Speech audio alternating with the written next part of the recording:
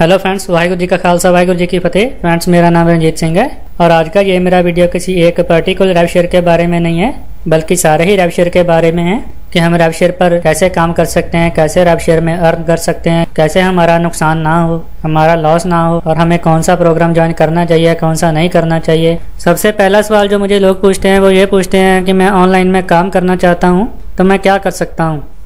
तो दोस्तों ऑनलाइन में बहुत कुछ है करने के लिए। जैसे मैट्रिक्स प्रोग्राम है माइनिंग प्रोग्राम्स हैं फोरेक्स प्रोग्राम्स हैं हेल्पिंग प्रोग्राम्स हैं। और अगर आप फ्री में ज्वाइन करना चाहते हो फ्री में अर्न करना चाहते हो तो पीटीसी प्रोग्राम्स हैं कैप्चा टाइपिंग्स हैं वर्ड पैड टाइपिंग्स हैं सर्विस प्रोग्राम्स हैं। आप कुछ भी कर सकते हो। लेकिन जो मुझे सबसे अच्छा लगता है, मुझे लगता है रेवशेयर तो इसलिए मेरा पूरा ज़्यादा फोकस रेवशेयर्स पे ही रहता है। ठीक है दोस्तों रेवशेयर असल में होता क्या है? एक एडवर्टाइजमेंट कंपनी होती है। जो हमें अपनी एडवर्टाइजिंग सर्विस प्रोवाइड करती है, जो हमें बाय करनी होती हैं, और बदले में हमें कुछ बैनर क्रेडिट्स मिलते हैं या फिर टेक्स्ट एड क्रेडिट्स मिलते हैं, वो हम अपनी किसी दूसरी साइट को प्रमोट करने के लिए उसको यूज़ कर सकते हैं। और इसमें से हमें जो अर्निंग होनी होती है, वो दोस्तों ग्रंटेड नहीं होती है, वो एक तरह का बोनस होता है। जो हम इनकी सर्विस बाय करते हैं, उसके लिए हमें कंपनी अपना रेवेन्यू डिस्ट्रीब्यूट करती है। कोई भी रेवशेयर साइट है, उसका एडमिन जितनी भी उस साइट पर सेल होती है, उसका फाइव टू टेन परसेंट अपने पास रखता है, बाकी ninety two ninety five percent members को डिस्ट्रीब्यूट कर देता है। तो वही हमारी एडिशनल इनकम होती है, दोस्तों। ठीक है, दोस्तों तो अब मैं आपको बताता हूँ कि हम रेव शेयर साइट पर कैसे काम कर सकते हैं। सबसे पहले, दोस्तों साइट पर एक इन्वेस्टर आता है। इन्वेस्टर मैं भी हो सकता हूँ, आप भी हो सकते हैं, कोई और मेंबर भी हो सकता है। जो पेड मेंबर है, वो समझिए इन्वेस्टर है। ठीक है इन्वेस्टर क्या करता है? कुछ मनी रेव शेयर में डालता है। रेव शेयर साइट में अपने से खुद मनी डालता है। मनी डालने के लिए आप आप पूछेंगे कि मैं मनी कैसे डाल सकता हूँ? मनी डालने के लिए दोस्तों आपके पास एक पेमेंट प्रोसेसर होना ज़रूरी है। पेमेंट प्रोसेसर आपका कोई भी हो सकता है। पेज़ा हो सकता है बिटकॉइन हो सकता है परफेक्ट मनी हो सकता है पेयर हो सकता है सॉलिड ट्रस्ट पे हो सकता है, और भी बहुत सारे पेमेंट प्रोसेसर्स हैं। जिनसे हम रेव शेयर में पेमेंट कर सकते हैं। लेकिन जो सबसे फ़ेमस और नंबर वन पर है, वो है इस टाइम पेज़ा तो मैं चाहूँगा कि आप पेज़ा से ही इन्वेस्ट करिए और दूसरे नंबर पर है बिटकॉइन आप चाहें तो बिटकॉइन से भी पेमेंट कर सकते हैं। बिटकॉइन के लिए आप coin payments dot com join कर लीजिए। तो पेज़ा या फिर कॉइन पेमेंट्स ज्वाइन करने के लिए आपके पास ईमेल आईडी होना ज़रूरी है। सबसे पहले मैं चाहूँगा आप अपनी ईमेल आईडी जीमेल पे बना लीजिए। और दोस्तों जब आपने अपना पेमेंट प्रोसेसर में अकाउंट बना लिया तो उसके बाद आपने रेवशेयर साइट में फंड्स ऐड करने हैं। ठीक है? इन्वेस्टर आप हो चाहे मैं हो चाहे कोई और हो, कोई भी मेंबर हो सकता है, वो इन्वेस्टर कहलाता है। तो इन्वेस्टर क्या करता है? मनी रेवशेयर साइट में ऐड करता है। ठीक है? जब हमने रेवशेयर साइट में फंड्स ट्रांसफ़र कर लिए, उसके बाद हमें कंपनी की जो एडवर्टाइजिंग होती है, वो परचेज करनी होती है। एडवर्टाइजिंग कुछ एड पैक होते हैं, वो हमें बाय करने होते हैं। जिनके बदले में हमें कुछ बैनर क्रेडिट्स मिलते हैं, वो बैनर हम अपनी अदर साइट को प्रमोट करने के लिए यूज़ करते हैं। ठीक है दोस्तों, ये तो हो गया एक चैप्टर अब दूसरा चैप्टर है हमें अर्निंग कैसे होगी? दोस्तों, जो इसकी अर्निंग है, जो हमें जो रेवेन्यू दिया जाता है, वो हमारी एडिशनल इनकम होती है। नॉन गारंटेड होती है, उसकी कोई गारंटी नहीं है, वो कब तक मिलेगी? जब तक साइट की सेल होती रहती है जब तक साइट पर इन्वेस्टर्स आते रहते हैं, तब तक हमें रेवेन्यू मिलता रहता है। जब साइट पर फंडर्स की कमी होगी तो उसके बाद एडमिन जो है डेली परसेंटेज भी कम कर देता है, जो हमें रेवेन्यू दिया जाता है। दोस्तों, हर साइट का अलग प्लान होता है। कोई हमें 120 परसेंट अर्निंग देता है, कोई 110 परसेंट देता है, कोई 105 परसेंट देता है, कोई 150 परसेंट देता है, कोई 200 परसेंट भी देता है। ये हमारे एड पैक के ऊपर हमें अर्निंग मिलती है। ठीक है दोस्तों, हम जितने भी एड पैक हमारे पास ज़्यादा होंगे, उतनी ज़्यादा हमें अर्निंग होगी। और जितने हमारे पास कम एड पैक होंगे, उतनी हमें कम अर्निंग होगी। जो आर है कंपनी का, वो हमें ज़रूर मिलता है। अगर कोई कंपनी 120 परसेंट आर दे रही है तो वो 120 परसेंट ही अर्निंग हमें देगी। डेली परसेंटेज उसकी कुछ भी हो सकती है, दो परसेंट भी हो सकती है, पाँच परसेंट भी हो सकती है, तीन परसेंट भी हो सकती है, बारह परसेंट भी हो सकती है, चौबीस परसेंट भी हो सकती है, या चालीस परसेंट भी हो सकती है, कुछ भी हो सकती है। ठीक है? ये लॉन्ग टर्म या फिर शॉर्ट टर्म साइट के ऊपर डिपेंड करता है। ठीक है दोस्तों? जब हमने एड पैक बाय कर लिए तो उसके बाद हमारा काम क्या रहता है? हमने कंपाउंडिंग करनी होती है प्लस डेली एड्स उसकी वॉच करनी होती हैं। कंपाउंडिंग क्या होता है दोस्तों? जो हमें डेली की अर्निंग होगी, चाहे दो परसेंट हो, चार परसेंट हो, पाँच परसेंट हो, कुछ भी हो सकती है, जो भी हमें डेली की अर्निंग होगी, वो हमें दोबारा से साइट में लगाते जाना है। दोबारा से उसके एड पैक बाय करते जाना है। तो जैसे जैसे हम एड पैक बाय करते जाएँगे हमारी अर्निंग बढ़ती जाएगी। मान लीजिए हमने 200 डॉलर लगाया, हमें कंपनी दो परसेंट डेली का दे रही है तो अगले दिन हमारी अर्निंग जो होगी, चार डॉलर होगी। तो हम चार डॉलर भी साइट में एड पैक बाय कर लेते हैं। अगले दिन हमें 204 के ऊपर दो परसेंट मिलेगा। ठीक है दोस्तों? इस तरह से कंपाउंडिंग करनी है। आपको कंपाउंडिंग के लिए स्ट्रैटेजी बनानी होती है। स्ट्रैटेजी आपको लॉन्ग टर्म के हिसाब से या फिर शॉर्ट टर्म के हिसाब से अलग अलग बनानी होती है। अगर कोई साइट लॉन्ग टर्म है तो उसमें आपको कंपाउंडिंग कम से कम एक महीना करनी होगी। ठीक है दोस्तों? उसके बाद नेक्स्ट स्टेप हमारा आता है, हमने सीड मनी आउट करनी होती है। सीड मनी वो होती है दोस्तों, जो आपने खुद से लगाई होती है। जानिए आपने 200 डॉलर लगाया या 400 डॉलर खुद से लगाया, वो आपकी सीड मनी होती है।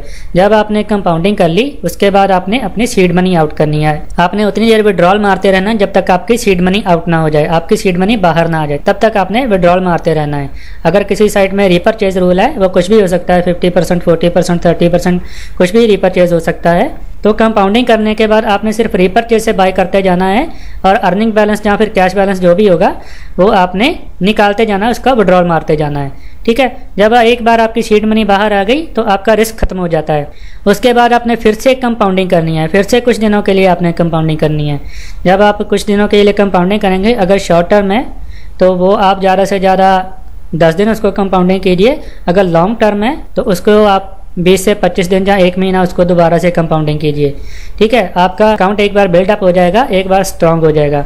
उसके बाद आपने फिर प्रॉफिट लेना स्टार्ट करना है। गट प्रॉफिट आपने करना है। उसके बाद जो भी आपका बचेगा साइट में, चाहे वो रीपर्चेज में हो, चाहे वो कैश बैलेंस में हो, चाहे आपके एड पैक हो, वो सब कुछ आपका प्रॉफिट होगा क्योंकि आप सीड मनी आउट कर चुके हो। तो अब साइट में टोटल आपका प्रॉफिट बचा है। ठीक है? तो वो आप प्रॉफिट आपने हमेशा लेते रहना है। हर वीक उसको रिपीट करना है। आप पाँच दिन उसको बिल्टअप कीजिए, दो दिन निकालिए, या फिर चार दिन बिल्टअप कीजिए तीन दिन निकालिए। ऐसे करके आपने हर हफ़्ते प्रॉफिट लेते रहना है। जब तक साइट चलेगी, तब तक आपको प्रॉफिट मिलता रहेगा। कुछ लोग मुझसे सवाल करते हैं कि अगर मैं इस साइट में सौ डॉलर लगाता हूँ तो मैं कितना निकाल पाऊँगा? अगर इसमें मैं पचास डॉलर लगाता हूँ तो मैं कितना निकाल पाऊँगा? दोस्तों, ये सवाल बिल्कुल गलत है, क्योंकि इस लाइन में इस सवाल का कोई मतलब नहीं है। क्योंकि जितनी देर साइट पर ट्रैफ़िक रहेगा, जितनी देर साइट की सेल होती रहेगी, तब तक आपकी अर्निंग होती रहेगी। ये नहीं है कि आपने सौ डॉलर लगाया और आप एक सौ बीस ही निकाल पाएँगे, या फिर 110 ही निकाल पाएँगे, या फिर 200 ही निकाल पाएँगे, ऐसा कुछ नहीं है। जब एक बार आपने कंपाउंडिंग कर ली, उसके बाद आपने सीड मनी निकाल ली, और उसके बाद आप जितनी देर साइट चलती रहेगी, उतनी देर आपको प्रॉफिट मिलता रहेगा। प्रॉफिट आपका दस परसेंट भी हो सकता है प्रॉफिट आपका पचास परसेंट भी हो सकता है, सौ परसेंट भी हो सकता है, हज़ार परसेंट भी हो सकता है। ये साइट के चलने के ऊपर डिपेंड करता है कि साइट कितनी देर चलती है, क्योंकि जितनी देर भी साइट चलेगी, तब तक आपको प्रॉफिट मिलता रहेगा। ठीक है दोस्तों, ये तो होगा एक चैप्टर हमने इन्वेस्ट कर लिया, हमने बिल्डअप कर लिया, उसके बाद हमने सीड मनी निकाल ली, उसके बाद हमने प्रॉफिट निकालना स्टार्ट कर दिया। ये तो हो गई अलग बात। अब कुछ लोग होते हैं जो बिना सोचे किसी भी रेव शेयर में इन्वेस्ट कर देते हैं तो अपना लॉस कर लेते हैं। दोस्तों, मैंने यहाँ पर कुछ टिप्स भी दे के रखे हैं। ये टिप्स मैं आपको बारी बारी बताता हूँ कि आपको किन चीज़ों का ध्यान रखना होता है कि आपका लॉस ना हो। ठीक है? सबसे पहला जो टिप है, वो है स्टार्ट फ्रॉम फ़र्स्ट डे आपको कोई भी रेव शेयर है, आपको फ़र्स्ट डे से ज्वाइन करना चाहिए। ना कि उसको लेट ज्वाइन करना चाहिए।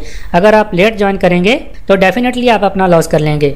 क्योंकि रेव शेयर साइट कैसे काम करती है, मैं आपको बताता हूँ।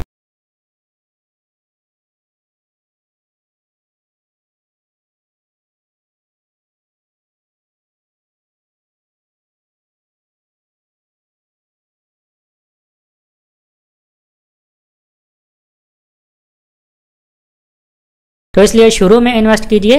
और जल्दी से जल्दी अपने सीड आउट कीजिए। सीड आउट करने के बाद जल्दी से जल्दी ज़्यादा से ज़्यादा प्रॉफिट लेना स्टार्ट कीजिए।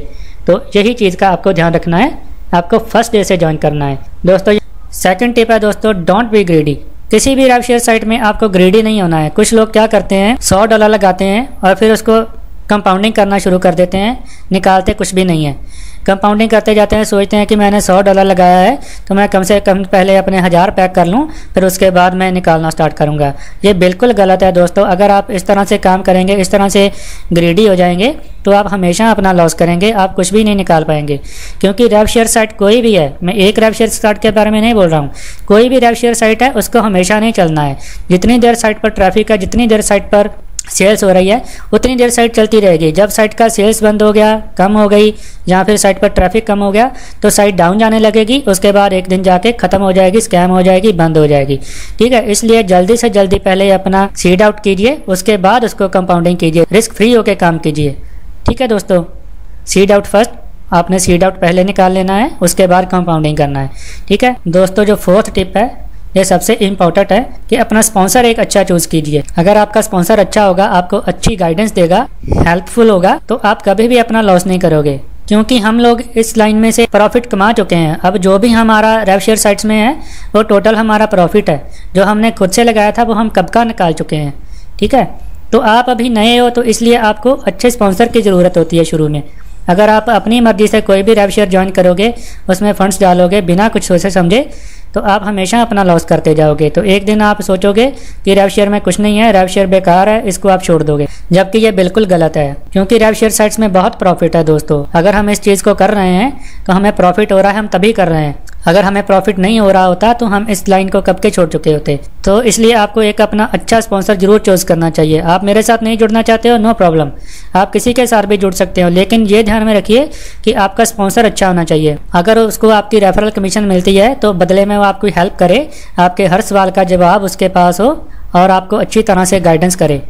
ठीक है? अगला टिप है be aware from commission junkies commission junkies कौन होते हैं? कमीशन जंकिस दोस्तों वो होते हैं जो आपको खराब प्रोग्राम में भी ज्वाइन करवा देते हैं, उनको सिर्फ़ अपनी रेफरल कमीशन से मतलब होता है। आपका चाहे लॉस हो, चाहे प्रॉफिट हो, उससे उनको कोई मतलब नहीं होता है। उन्होंने सिर्फ़ आपको प्रोग्राम का अपना रेफरल लिंक देना है, आपको ज्वाइन करवाना है। ज्वाइन करवाने के बाद वो आपको किसी मैसेज का रिप्लाई तक नहीं करते हैं। वो होते हैं कमीशन जंकिस इनसे आपको बहुत अवेयर रहना पड़ेगा दोस्तों। कुछ कमीशन जंकिस तो वैसे ही होते हैं। खराब प्रोग्राम को प्रमोट करने लगते हैं। एडमिन से पचास, सौ डॉलर लेके खराब प्रोग्राम को भी प्रमोट करने लगते हैं।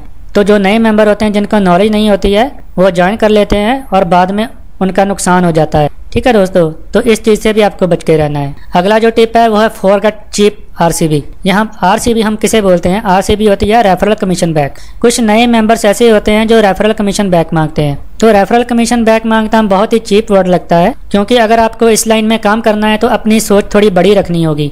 अगर कोई आपको आरसीबी ऑफ़र करता है तो समझ लीजिए कि जहाँ तो उसके पास रेफरल कम है या फिर वो कमीशन जंकी है, ठीक है? वो आपको सिर्फ़ अपने प्रोग्राम में ज्वाइन करवाना चाहता है। आपको चाहे प्रॉफिट हो, चाहे लॉस हो, उसको कोई मतलब नहीं होगा। वो आपको आरसीबी तो दे देगा, दस डॉलर या बीस डॉलर जो भी है, वो आरसीबी आपको दे देगा। लेकिन उसके बाद आपका जो नुकसान होगा बाद में 200 डॉलर 400 डॉलर जो भी आपने लगाया होगा, अगर वो प्रोग्राम ख़राब हुआ तो लास्ट में जाकर आपको पछतावा होता कि मेरा कोई अच्छा स्पॉन्सर होता जो मुझे अच्छे से गाइड करता। आप 10-20 डॉलर के पीछे अपना 400-500 डॉलर का नुकसान करवा लेते हो। ठीक है तो इस चीज़ को भी आपने ध्यान में रखना है। या तो आप आरसीबी कलेक्ट करते रहिए, या फिर यहाँ से कुछ पैसा कमाइए। दोनों में से एक ही काम होगा। या तो आप आरसीबी वाले स्पॉन्सर को चूज़ कर लीजिए या फिर किसी अच्छे स्पॉन्सर को चूज़ कर लीजिए। ये आपके ऊपर डिपेंड करता है। ठीक है दोस्तों? उसके बाद आपको साइट ज्वाइन करने से पहले क्या क्या चीज़ें देखनी होती हैं? साइट्स पर सबसे पहले आपको देखना होता है कि साइट पर ट्रैफ़िक कहता है। हाउ मच ट्रैफ़िक ट्रैफ़िक होता है दोस्तों, जैसे मैं मेंबर हूँ, आप मेंबर हैं, किसी साइट पर 500 मेंबर हैं तो उस साइट का ट्रैफ़िक कितना है? 500 तो किसी साइट पर अगर हज़ार मेंबर हैं तो उसका साइट का ट्रैफ़िक है हज़ार। ठीक है, ये जितने भी मेंबर होते हैं, ये ट्रैफ़िक होता है। ठीक है, इसे हम ट्रैफ़िक बोलते हैं। तो जब आप साइट का ट्रैफ़िक देखेंगे, अगर किसी साइट पर 200 या 500 मेंबर हैं तो उस पर आपने इन्वेस्ट कर लिया तो आप डेफिनेटली अपना लॉस कर लेंगे। ठीक है साइट पर ट्रैफ़िक बहुत अच्छा होना चाहिए, तभी आप साइट से कुछ कमा पाएँगे। साइट पर ट्रैफ़िक अच्छा आ रहा है तो समझिए साइट की सेल भी अच्छी हो रही है। ठीक है, उसके बाद है हु आर एडमिन एडमिन कौन है? एडमिन अच्छा है ट्रस्टेड है वेल नोन है। या फिर फेक है अननोन है। ठीक है, ये चीज़ भी आपको देखनी होती है। अगर तो एडमिन ट्रस्टेड है वेल नोन है तो साइट पर अपने आप ट्रैफ़िक आना स्टार्ट हो जाता है। क्योंकि सबको पता होता है कि ये बंदा स्कैम नहीं कर सकता। ठीक है, और अगर अननोन होगा, उसके बारे में कुछ भी लोग नहीं जानते होंगे तो लोग बहुत डर डर के उसकी साइट को ज्वाइन करते हैं। कई बार तो ऐसा होता है कि जो नए एडमिन भी होते हैं इस लाइन में, वो भी ट्रस्टेड होते हैं। उनकी साइट भी अच्छे से चलती है। लेकिन 90 परसेंट जो साइट है, वो स्कैम हो जाती हैं। इसलिए आपको यहाँ पर बहुत ही ध्यान से काम करना होता है। तो इसीलिए आपको स्पॉन्सर की ज़रूरत होती है, जो आपको अच्छे से गाइड कर सके। ठीक है? अगला टिप है how much he have experience उसके पास कितना एक्सपीरियंस है एडमिन के पास? अगर एडमिन पुराना है तो उसके पास एक्सपीरियंस है तो वो साइट पर जो भी उसका पे प्लान होगा, वो बहुत ही अच्छा होगा। तो अपने एक्सपीरियंस के ऊपर ही वो साइट को चलाता है। अगर साइट कभी भी डाउन भी जाने लगती है तो अपने एक्सपीरियंस का इस्तेमाल करके साइट को दोबारा से ट्रैक पर ले आता है। ठीक है दोस्तों? तो ये चीज़ भी आपको देखनी होती है। अगला जो टिप है दोस्तों, ये है प्रमोशन के लिए। कोई भी साइट आपको प्रमोट करनी है तो उसको तभी प्रमोट कीजिए अगर उसका रिस्पांस अच्छा है। अगर रिस्पांस अच्छा नहीं है तो उसको प्रमोट मत कीजिए। अगर कोई आपके अंडर ज्वाइन होता है तो उसका नुकसान हो गया तो आप वो अपना रेफरल गवा लेंगे। वो दोबारा आपके अंडर कभी भी ज्वाइन नहीं करेगा। ठीक है? इसलिए आप तब तक प्रमोट कीजिए जब तक साइट का रिस्पॉन्स अच्छा हो। ठीक है दोस्तों तो मैंने अपनी तरफ़ से पूरी कोशिश की है कि मैं आपको रैपशेयर के बारे में पूरी जानकारी दे पाऊँ। दोस्तों, उम्मीद करता हूँ कि आपको मेरी सारी बातें समझ में आई होंगी। आपको वीडियो बहुत ही पसंद आया होगा। मेरा वीडियो लाइक करना ना भूलें। मेरा यूट्यूब चैनल सब्सक्राइब करना ना भूलें। इस ट्यूटर में इतना ही। अगली ट्यूटर में मिलते हैं। वाहिगुरु जी का खालसा, वाहिगुरु जी की फतेह।